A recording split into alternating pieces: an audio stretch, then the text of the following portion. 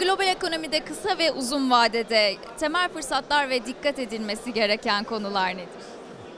Ya Global ekonomide kısa dönemdeki en büyük sorunlar tabii içinde yaşadığımız dönemdeki özellikle e, ticaret savaşları ve bunun etkileri, Avrupa'daki e, olası daralma ve İran'ın da içinde bulunduğu Orta Doğu'daki e, gerginlikler. Tabii bunlar özellikle bizler için e, sıkıntı yaratmakla kalmıyor.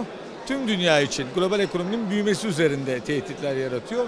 Fırsatlar ise yine bir yerden de belki tehdit, dijitalleşmenin getirdiği, e, bilginin daha etkin kullanılması, e, olasılıkların daha iyi e, değerlendirilerek verinin e, bilgiye, bilginin karara dönüşmesi bunun birçok şeyi çok hızlandıracağını ve yepyeni fırsatlar ve farklı ekonomiler arasındaki geçişkenliği artıracağını düşünüyorum.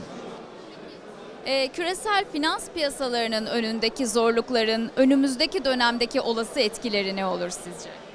Tabii yine bu da bu dünyadaki gerginliklerle çok ilişkili. Çünkü dünya 1990'lı yıllardan beri daha entegre, daha birbirine açık bir politika e, içinde yaşıyordu. Ama son dönemde daha milliyetçi, daha sınırların kapadığı bir ortam yaşıyor. Dolayısıyla finans piyasaları da aslında bu globallikten en çok faydalanan, uluslararası şirketlerin büyümesini fonlayan, gelişmiş ülkelerde daha iyi getiriler sağlayan bir piyasaydı.